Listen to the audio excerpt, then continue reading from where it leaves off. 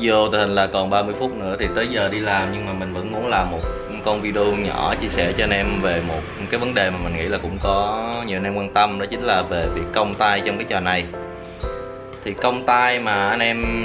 nghe thì anh em sẽ hình dung ra là cong tay là một cái dạng dị tật, tức là khi mà chúng ta quay một cái game mod nặng trong một cái khoảng thời gian dài thì cái tay của chúng ta nó sẽ bị cong theo cái kiểu là xương nó bị uốn, rồi cong cái tay lên đó, cho nên là nhiều anh em cũng có hỏi mình là bây giờ quay mắt nặng thì nghe nó bị cong tay rồi sợ. Đó hoặc là những anh, anh em nào mà quay mắt nặng lâu thì cũng có nói là tại sao nghe nói quay bị cong mà bây giờ dùng em dùng lâu rồi nhưng mà em không có bị gì hết.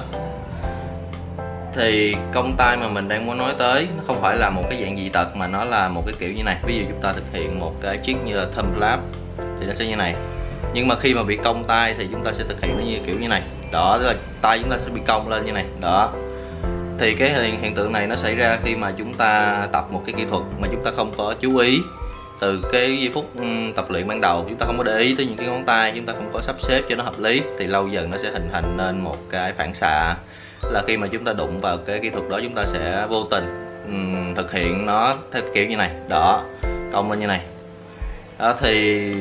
mod nặng nó có ảnh hưởng không? Thì theo như mình nó là có, nhưng mà nó sẽ ảnh hưởng gián tiếp chứ không phải là trực tiếp.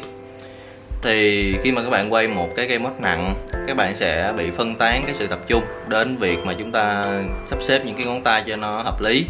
Mà chúng ta sẽ chỉ tập trung vào việc là kiểm soát sao cho tốt cái cây mod đó vì nó khá là nặng cho nên là đôi khi chúng ta phải gồng. Đó, mà gồng thì đương nhiên là nó sẽ, nhìn nó sẽ hơi thô và nó không có đẹp cho nên là mình luôn khuyên anh em là dùng một cái cây mod nào nó vừa phải thôi, nó hợp với cái tay của các bạn chứ không phải là mod nhẹ. Nhẹ quá thì nó cũng không tốt, nhưng mà nặng quá thì nó cũng không được. Thì hôm nay mình sẽ chia sẻ với anh em là ba cái mẹo mà mình nghĩ là nó sẽ giúp cho hạn chế cái việc cong tay. Ờ, mình ngày xưa mình cũng đã từng bị cong tay và mình đã mất rất là nhiều thời gian để mình sửa, cho nên là mình đã đúc kết được ba cái mẹo này. Cái mẹo thứ nhất, đơn giản nhất, đó chính là chúng ta sẽ bỏ đi những cái kỹ thuật mà chúng ta cảm thấy là khi thực hiện nó sẽ bị cong cái tay và chúng ta sẽ sửa từ từ sau ví dụ như là chúng ta thumb flap mà chúng ta bị cong tay như này thì chúng ta hạn chế chúng ta bỏ cái chiếc này vào combo hoặc là nếu mà chúng ta có bỏ thì chúng ta phải chú ý chúng ta biết được là cái chiếc đó nó sẽ làm cái tay bị cong lên rồi thì chúng ta sẽ chú ý tập trung và cố gắng thẳng cái tay hết mức có thể ngay vị trí cái chiếc đó tức là ban đầu chúng ta quay một cái combo chúng ta có thể thả lỏng tay nhưng mà khi tới cái thumb flap chúng ta phải cố gắng thẳng tay ra bằng một dáng chúng ta phải thẳng cái tay ra. Thì lâu dần tầm uh, vài tháng thì nó sẽ hình thành nên một cái thói quen mới đó là chúng ta thẳng cái tay ngay cái vị trí chiếc thumb flap cái mẹo thứ hai đó là chúng ta sẽ sử dụng nhiều đến những cái kỹ thuật liên quan tới cái ngón mà nó bị cong. Ví dụ như là các bạn bị cong ngay ngón út thì các bạn cố gắng các bạn đưa vào combo những cái kỹ thuật nào nó liên quan tới ngón út nhiều để cho cái ngón út nó luôn hoạt động nó không có, nó không có đứng yên, nó không có đứng yên một chỗ. Ví dụ như chúng ta thực hiện chiếc thumb láp thì con con út nó đứng yên một chỗ đây. Đó, thì nó sẽ dẫn tới là nó sẽ đưa qua đưa lại lung tung.